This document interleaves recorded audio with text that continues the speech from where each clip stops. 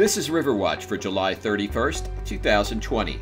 The PennEast Pipeline Company is urging the Federal Energy Regulatory Commission to issue the agency's environmental assessment for the company's amended project.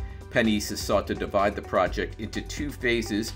In a letter to FERC, the company has asked for the decision and other approvals so it can begin construction of phase one of the project in Pennsylvania. As the summer heats up, dog owners are being asked to be cautious in allowing their pets to swim in lakes and ponds. Harmful algal blooms can develop in warm, stagnant water. Veterinarians say toxins in the blooms can quickly kill a dog. Unfortunately, for a majority of animals that are exposed to these bacteria in the water, it, it is usually fatal. Monitoring in New Jersey this summer has detected three lakes or ponds within the Delaware River watershed where harmful algal blooms present a moderate risk of adverse health effects and where people and pets should avoid contact recreation.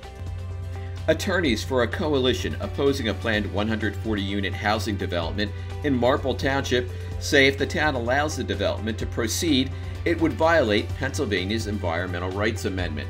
Attorneys for the Whetstone Coalition provided the testimony at a July 28th Planning Commission meeting. Opponents of the proposal say they want the forested buffer around the Whetstone Creek preserved. The Planning Commission will make a recommendation to the Township Board of Commissioners by the end of August.